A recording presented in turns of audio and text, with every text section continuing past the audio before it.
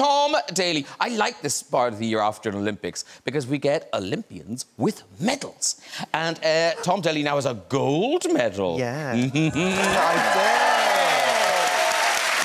Now, it it looks a bit like Christmas morning on the table beside you. uh, what, have, what have you got, Tom? Oh, we've got a whole selection of, we've got a whole catalogue of things. First up, I, I, feel like I'm on like a TV like sales show right oh, now. QVC, yeah. So we've got my knitted pouch, which then has inside my That's fun. So there we are. That's very good. I've got... just chuck it on the floor. Be all right. Yeah, you know when I'll nick them. Yeah. I cro some crocheted swim trunks.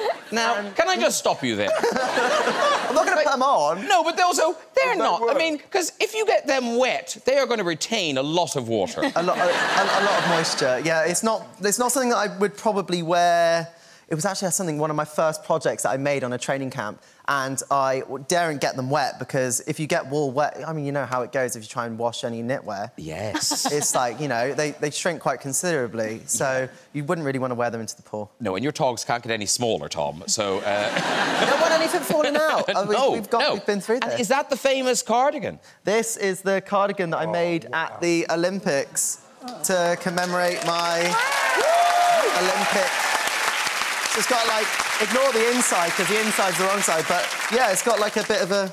It was a Team GB jumper for me to remember my Tokyo Olympics. So. It looks like you were in Tokyo for about six months. there was a lot of spare time, let's put it that way.